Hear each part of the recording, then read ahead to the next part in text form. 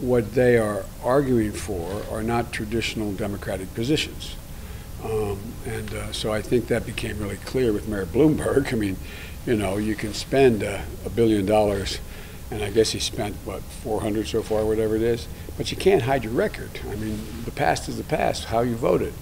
And the idea that the Democratic Party would support somebody who did the stop and frisk law and threw, I won't use the phrase again, but threw up against the wall minority men several million times, uh, literally. Uh, the idea that he's making the case that he and Barack are really close buddies when he didn't support us, he didn't, and, or that uh, you know, I mean, what comes out with with Bernie is, I was just saying to another reporter, I didn't realize that until the Atlantic article article came out that I knew he talked about someone should primary Barack for the second term because he didn't like he thought Barack wasn't, I guess, socialist enough. Or, but I, I think caucuses are somewhat confusing, even in, even in the outcomes. But look, I feel really good about my the response I'm getting here, whether it's Reno or down here or wherever it is. I uh, and I've always gotten significant support my whole career and as vice president campaigning for from African Americans, from like the,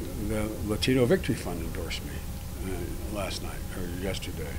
Um, I've always gotten support there. I've always gotten support from working class people, hourly wage earners, and union members. And so I feel good about it, but we'll see how that pans out in a, in a, in a caucus.